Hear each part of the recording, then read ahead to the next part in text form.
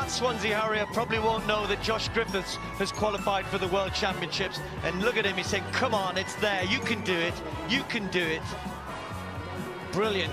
This is so hard. I mean, this every single part of his body is shutting down on him. But what we're seeing also is the camaraderie and the spirit of the marathon. How many of these guys are on for their personal best? They want to break that time, but they're still running by to see if they can help him. Of course, don't know if they can actually help him all the way to the line, but they can certainly encourage him.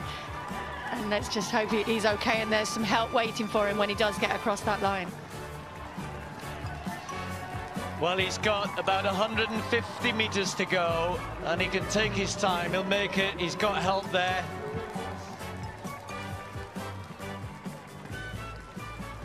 So David Wyeth being helped towards the line. One of the, I guess, the sort of things that we get used to seeing at the London Marathon every year, but it never, ever fails to inspire you. He's being helped there by Matthew Rees from Swansea Harriers. Well done, Matt. Doing a great job.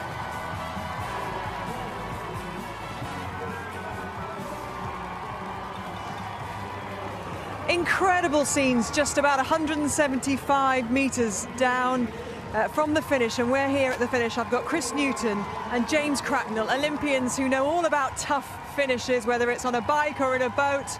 And of course, we've got uh, the Royals have joined us there, and you can see Prince William and Prince Harry looking out and just in disbelief at, at what they're seeing there. The camaraderie, which is what the London Marathon, Paula said, is all about. And Josh Griffith, the top uh, British man home, is a teammate, isn't he? He's a Swansea Harrier, and he'll be proud to see his fellow Swansea Harrier there, sacrificing what could be a PB, who knows, as uh, the guys said, to get this Chorlton Harriers, this Chorlton runners over the line. And James, I know you've just run your own fantastic race, but when you see that, that kind of sums up, doesn't it, what this is all about?